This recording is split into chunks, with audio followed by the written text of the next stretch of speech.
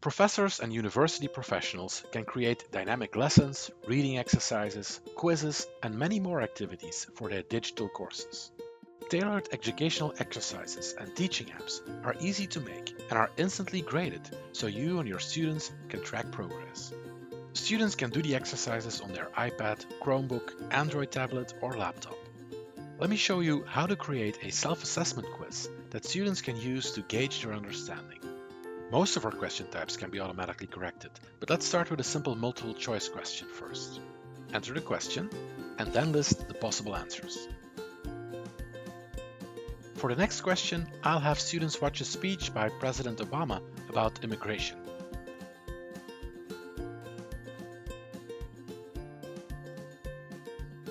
And then have them list at least three issues the president sees with the US immigration system at that time.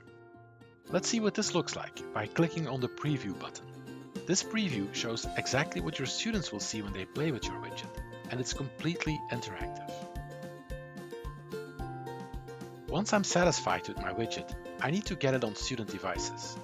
We've made this very easy and flexible by giving every widget a unique link. To send it to my students, I'll just share this link with them via email, Showbie, a learning management system, or pretty much any other app that allows me to share links. Students then click the link to play it on any tablet, laptop, or PC.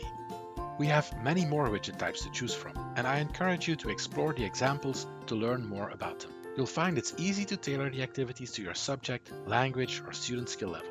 Widgets can also be combined to form complete digital lessons. You can easily add your widgets to any website or learning management system, or embed them in ebooks created with iBooks Author.